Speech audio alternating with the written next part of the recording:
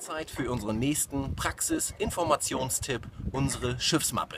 Die Schiffsmappe aufgebaut, wie auch in Ihrem Kundenlogin, vorher einsehbar, was das Schiff alles hergibt.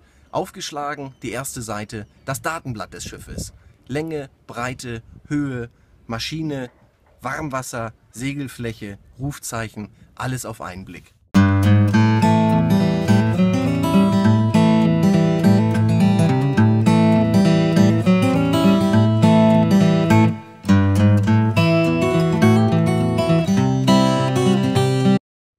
Bereits unseren Kundenlogin besucht haben, kommen Ihnen die folgenden Seiten nicht unbekannt vor.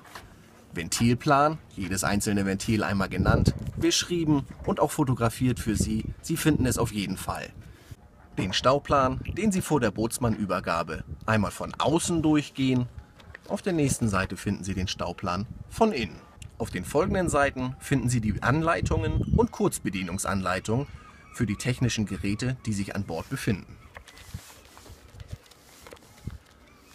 Einen Reiter weiter finden wir die wichtigen Dokumente.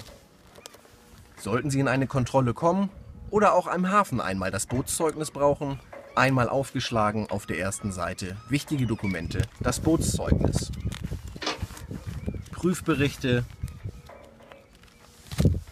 Bundesnetzagentur Zuteilungsurkunde, Gasprüfung, alles schön zusammengefasst. Sollte es während Ihrer Reise zu einem Schaden kommen, finden Sie auf der letzten Seite unserer Bootsmappe die Schadenanzeige für Kaskoschäden und für Haftpflichtschäden.